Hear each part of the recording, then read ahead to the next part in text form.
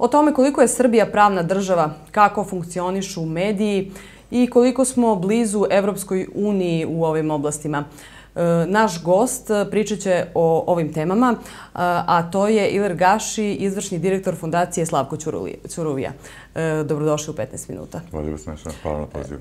Evo ovako, vi ste bili među novinarima i aktivistima koji su e, početkom avgusta podneli tužbu, to je skrivičnu prijevu protiv Željka Mitrovića, Vučićevića i ostalih. Tužilaštvo je odbacilo tu prijevu. Šta nam to govori? da možda pojasnimo gledalcima koji nisu u toku, E, radi se o slučaju negde iz e, juna prošle godine, kada je u nekoliko medija, pre svega Informeru, potom i na televiziji Pink, to je standardni uigrani mehanizam, objavljeno da, kao što ste rekli, grupa novinara, aktivista, čak i glumaca, uh, učestvuje u nekoj vrsti zavere za nasilno rušenje režima. Uh, jedan naslov Informeru je glasio i ubijanje Vučića, da podstakne koliko, da pocrta koliko je ozbiljna stvar u pitanju. E, još tada smo mi e, podnali tu krivičnu prijavu, smatrajući da to god s jedne strane mi zaista verujemo u, u slobodu štampe, slobodu govora i slobodu medija, e, tome moraju da postoje neke granice. I kada vas neko optuži za jedno od najtežih krivičnih dela koje postoje u našem pravnom sistemu, a to učini bez ikakvih dokaza, onda verovatno treba da tražimo od naše države da takvo ponašanje na neki način sankcioniše, da nas zaštiti, a da istovremeno i da primer drugima koji bi to mogli u budućnosti da radi. Država to nije uradila, nažalost, u ovom slučaju. Država to, da budemo uh, pravno pošteni, u ovom koraku nije uradila. Dakle, postoji nekoliko instanci. Uh, u toj prvoj uh, je naša krivična prijeva odbijena. Um, ako me pitate za obrazloženje, takve odluke ja bih mogla samo da vam kažem da ne znam koja je, pošto tekst odluke koje smo dobili nikakvo objašnjenje ne sadrži, osim zaključka da za krivično delo koje, za koje smo smatrali da je počinjeno, niti za druga krivična dela koje se vrš, za koje se goni po službenoj dužnosti ne postoji osnov i posavjetovani smo da eto potražimo pravdu možda u e, privatnom tužbenom postupku tužići za uvredu. I to je ono gde mi smatramo, pa ne, ako neko kaže e, hteo si da ubiješ premijera i hteo si da izvedeš mase na ulicu da, da sruše ovu državu, mislimo da se u tome krije možda malo više od uvrede. E, ovom odlukom država je pokazala da to ne smatra, mi smo podneli prigovor, e, nemamo neke jako velike nade da će više od godinu dana kasnije sad odjednom da se to prelami na drugu stranu i da će uh, urednik Informera i urednik Pinka odgovarati za ovo, ali naše je da iskoristimo sve instance koje postoje ovde, zato što mi duboko verujemo u, u sistem kao takav i da se jedino kroz institucije taj sistem može menjati. Sada, koliko će to biti sporo ili brzo, pre bih rekao sporo, to je drugo pitanje. E, još sporije je bilo u slučaju e, ubistva novinara Slavka Ćuruvije. Znači, da. suđenje je počelo čak mnogo kasnije. E, sada su tu već e, nekih neizvesnosti, hoće li optuženi ostati u pritvoru ili ne? E, zapravo je doneta odluka e, da se dvojica optuženih za ubistvo brane iz takozvanog kućnog pritvora, to je ono kad dobijete nanogicu i ne smete da napuštate stan, što je svakako mera znatno blaža od zatvorskog pritvora. Slavko Ćurovija fondacija, kao i niz drugih organizacija koje se bave medijskim pitanjima u Srbiji, se oglasila ovim povodom. E, mi smatramo e, da, ne ulazeći u pravne razloge, mislim da je jako važno poštovati nezavisnost suda u njegovom pravu da odlučuje, e, smatramo da to jeste jedna uznemirujuća činjenica. A kako se to odražava evo, na građane koji sve to čuju, vide u medijima?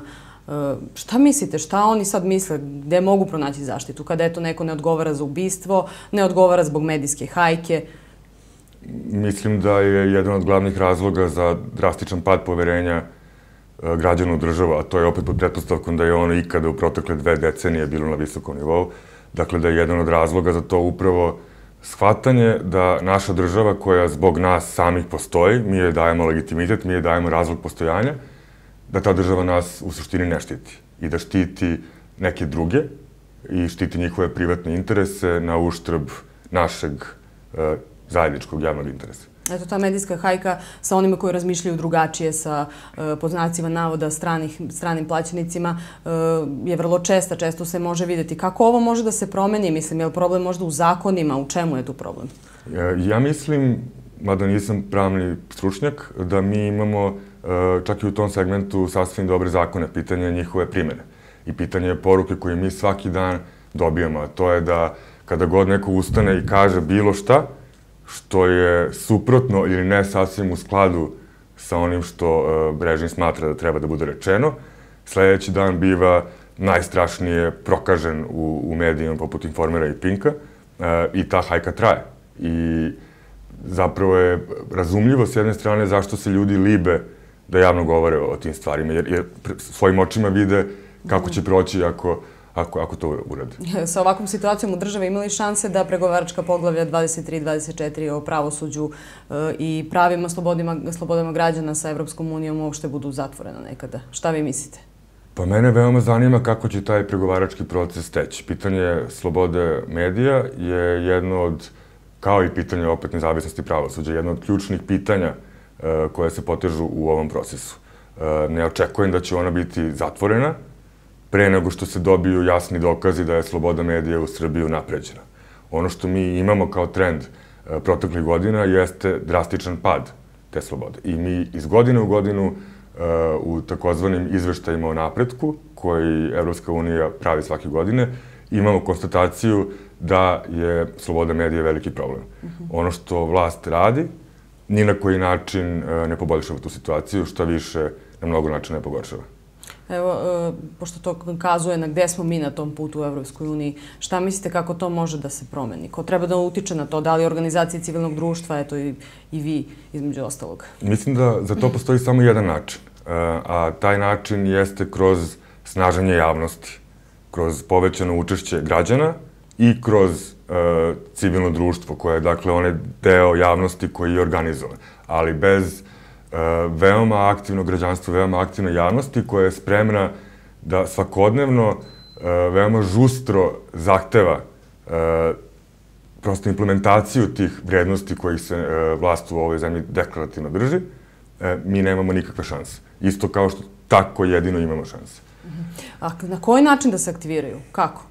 Kako da se aktiviraju? Pa evo, nije, nije loša ideja recimo uh, razmišljati o angažmanu u nekoj uh, nevladnoj organizaciji koja se bavi pitanjima od uh, značaja za građane. Dakle, svakome je važno nešto.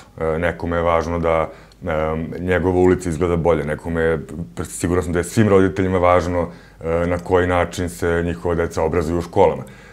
Prosto, već učešćemo u nekoj javnoj debati, pa makar to bilo i u kafani, znate, i već idejom da možete da promenite nešto, vi već menjate. Znate, jer jako je lako sesti i reći ja ne mogu ništa uh, i zbog toga ne treba ni da pokušavam.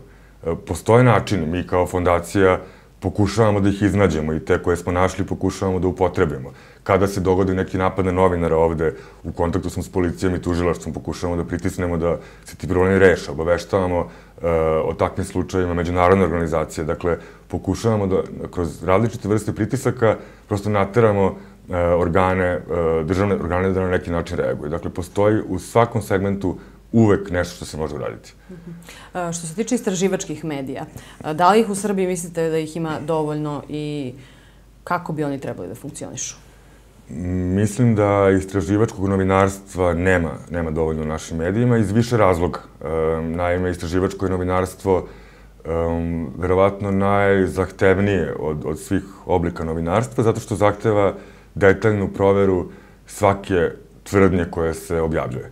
E, možda ljudi to ne znaju, ali za, za istraživačku priču koju objavljuju kuće poput Birna ili Krika ili Cinsa, često je potrebno i po šest ili sedam meseci rada.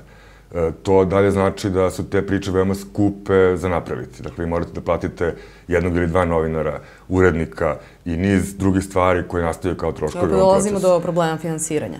E, to je jedan aspekt problema. Drugi aspekt je šta biva kada vi objavite tu priču. Dakle, imali smo u proteklih nekoliko godina više stvarno sjajnih priča koje su otkrile neke velike afere, e, od kojih se na kraju ništa nije izrodilo. I onda i kao novinar i kao javnost sedite i pitate se zašto ja uopšte radim ovaj posao. Dakle, nekada je teško naći motivaciju. I na kraju, kada vi to objavite, evo sutra na naslovnoj stranici informera i uz to piše da ste strani plaćenik. I sada vi ste potrošili šest meseci radeći neki užasno težak, a često i opasan posao. A niko nije posao. reagovao, čak ni tužilaštvo čije je to posao. Da, čak ni tužilaštvo čije je to posao. Naj, strašna je stvar zapravo da, da istraživački novinari danas e, mnogo više obavljaju taj posao, bar je takav moj utisak, nego, nego državni organi. A zbog čega državni organi se stalno pozivaju, odnosno vlast, na, na to da su e, ti, ti novinari, ti mediji strani plaćenici? Zašto je to, to toliko e, loše, možda neku lošu konotaciju ima u ovoj našoj javnosti? Bar iz njihovog ugla. Pa to je jedna, e, kako da kažem, jedna teorija koja, koja je pustila korenje tamo negdje 90-ih i to korenje se onako baš fino zapatilo, očito, te je sasvim dovoljno optužiti nekoga bez ikakvih dokaza da, da, da radi e, za nečiji interes, neke, neke mračne, tajne sile, sile iz inostranstva koja zapravo upravlja svim, pa i e, našom javnošću, e, ljudi to poveruju, nažalost, zato što prosto ne, ne posvećuju dovoljno vremena tome, nemaju dovoljno znanja. Istina je zapravo da, da, da e, kao što neki znaju, država Srbija jeste neuporedivo veći korisnik stranih donacija nego sve nevladine organizacije u Srbiji zajedno. I to nije tajna i to je sasvim u redu. Zašto nama Evropska unija ne bi dala neki bespovratni kredit da popravimo neke škole ili neke puteve? To je sasvim u redu. Isto tako je, prepostavljam, u redu da ta Evropska unija da neki novac i to nezamislivo manji od ono koji daje vladi, da se u ovoj zemlji pravi dobro novinarstvo. E, koliko će ulazak u Evropsku uniju, po vašem mišljenju, e, popraviti situaciju u srpskim medijima? Mislite pod pretpostavkom da uđemo u Evropsku uniju? Pod pretpostavkom, da. E, pa to je zapravo teško reći. Po iskustvima drugih zemalja, na primjer Hrvatske, izgleda da, da je sam proces pregovaranja onaj u kome je moguće napraviti napredak. Jedno kada ste u Uniji, ona nema mehanizme da utiče na stanje medijske slobode u toj zemlji. Da, da ima, vi ne biste imali probleme koje imate danas u Mađarskoj ili koje imate u Hrvatskoj i u drugim zemljama koje, koje jesu Uniji. Dakle, novinarstvo je širom sveta uh, ugroženo, pod napadom. I za sada nije našlo dobru odbranu. Iz milion razloga, ali to je, to je činjenica. Čak u Evropskoj uniji jako je opasno verovati da je taj trenutak u bilo kojoj sferi, bilo da govorimo o slobodi medija ili pravosuđu, da je taj trenutak trenutak kada smo mi bezbedni. Znate, demokratija se gradi i brani svakog dana. I to je, mislim, ono što je neuporedivo važnije kao shvatanje od same činjenice ulazka u Evropsku uniju. Jedno kada budemo imali tu svest i kada kao društvo budemo bili e, spremniji da se angažujemo za odbranu tih vrednosti, onda pitanje ulaska prestaje da bude toliko važno, ja mislim. E, evo, vaša fondacija postoji već koliko, 3-4 godine. Tako je. E, da li vidite vi neke efekte vašeg rada? Apsolutno ne mogu da kažem da, da mislim da je, da je fondacija Slavko Ćuruvija uh, bitno poboljšala stanje medijske slobode u Srbiji, niti to, niti to mogu da kažem za bilo koju pojedinačnu organizaciju. Prosto mali smo, imamo ograničene resurse i nije to samo do nas, da li radimo ili ne. Uh, ali mislim da um, znači njeno postojanje, evo da uzmemo primjer školu digitalnog novinarstva, na koje, na koje dolaze neki mladi novinari nekih lokalnih medija, koji e, možda po prvi put u, u svojoj karijeri sreću neke starije novinare koji im svojim primjerom pokazuju i da novinarstvo nije lako i da nikada neće biti lako, ali da ima razloga zašto veruju u njega i zašto to rade. I samo to, već to međusobno hrabrenje tih ljudi je za mene kao, kao direktora fondacije lično jedna dragocena stvar. I ja sam se osetio bolje kada sam se našao okružen ljudima koji, koji snažno veruju u ono što rade. Tako da, ako drugog napretka nema, eto, za mene je i to jedan uspeh. Mhm. Kakav je vaš utisak, eto, upravo e, kada vidite te mlade novinare iz lokalnih medija, pošto je, e, eto, ipak malo drugačija e, situacija u lokalnim nego u nacionalnim medijima. Ima li tu potencijala, ima li tu nade za borbu za demokratiju i sličnih stvari? Apsolutno da, da. I to je jedno od, jedna od najlepših stvari koje, koje, koje sam dobio u fondaciji, to je ta stalno obnavljajuća svest o tome da Kada krenete da putujete po Srbiji, kada krenete da upoznate te ljude, vi shvatite da postoji neverovatnih potencijala i, i sjajnih novinara. E, starih i mladih takođe. E, samo da su uglavnom veoma usamljeni u tome što rade, e, nemaju nikakvu podršku, a veoma često su žrtve raznih napada i pritisaka. E, mislim da je veoma važno njima tu podršku pružiti, jer u mestima van Beograda pritisci na medije postaju, bivaju neuporedivo snažniji i otvoreniji nego što je slučaj u Beogradu. I baš zbog toga što se prosto stvarnost u ovoj zemlji događa ne samo u Beogradu, nego i u toliko drugih mesta, važno je da iskoračimo iz te centralističke perspektive i da, da gledamo kakvo je novinarstvo uh, u Leskovcu, kakvo je novinarstvo u Kikindi, jer tamo žive ljudi kojima su potrebne informacije. Uh, I neko te informacije u određenom kvalitetu treba da ima bezbedi. Ako lokalni mediji umru i ako lokalni novinari uh, prestanu da se bave tim poslom, pošto ne vide perspektivu, um, ti ljudi nemaju nikakve šanse da dobiju informacije koje su im potrebne za kvalitetan život. Osim te škole digitalnog novinarstva, da li nastavljate nekako da ih podržavate ili možda neku saradnju sa njima? E, fondacija je do sada imala niz programa koji se tiču e, ili same obuke, ili mentorstava, treninga, e, produkcijske podrške lokalnim medijima i novinarima. Takođe, Cenzolovka, to je portal koji je osnovala fondacija, koji se bavi isključivo medijskim slobodama u Srbiji, drži veoma snažan fokus na lokalnim medijima. Upravo pod smatranjem da, da, da pažnje prema lokalnim medijima i lokalnim novinarima i borbama koje one vode nema dovoljno. I zbog toga, apsolutno da. Dakle, sve što radimo je na neki način prožeto e, lokalnim medijima i lokalnim novinarima. Hvala vam puno na gostovanju. Hvala vam. Bila je ovo emisija 15 minuta, ja sam Vesna Milić.